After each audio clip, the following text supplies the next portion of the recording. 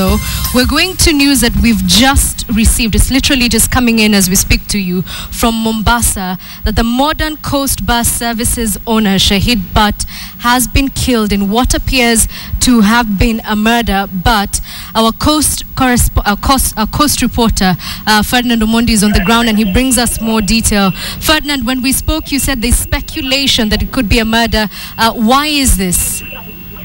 Well, I am standing at the scene at the moment where the car as it was driving along the Changamwe Airport Road has uh, diverted off the road, and I am counting at least 30 bullet holes that have ripped through the windshield.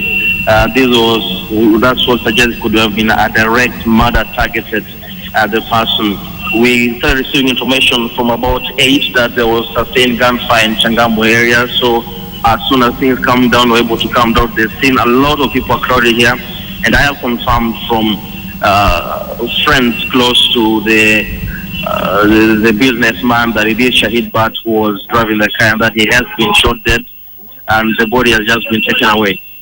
All right, Ferdinand, we sort of began this story halfway through the timeline. Could you please take us through from what you've gathered what happened? Well, uh, it was about eight uh, uh, that I started receiving frantic phone calls from sources around Changamwe about sustained gunfighting.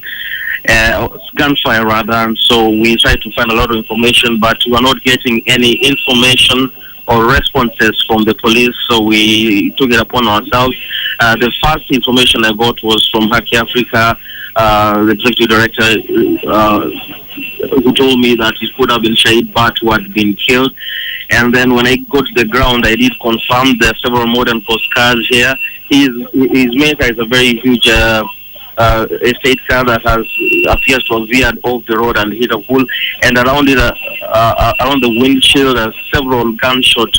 Uh, the, the pieces of human bodies splattered uh, all over the car and even on the ground. And I have counted, like I said, at least 30 bullet holes. Uh, he has been taken away. Uh, up to the moment I arrived, the police were not yet at the scene. Uh, they they have just arrived. Uh, that is about um, at least uh, an hour, 30 minutes after the incident, from what I have seen, and they're now trying to clear people off the area.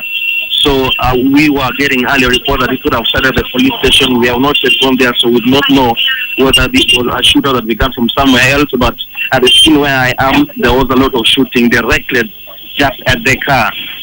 Okay. Uh, Ferdinand Omondi, thank you very much for those details. Obviously, still very early, just an hour and a half after the incident took place. The owner of Modern Coast Bus Services, Shahid Butt, shot dead. Ferdinand Omondi, our coast reporter, saying he counted up to 30 bullets, and police have literally just arrived. And when he gets more information, you will be able to access it either through. Um, this channel or by logging on to Twitter and uh, following at KTN Kenya.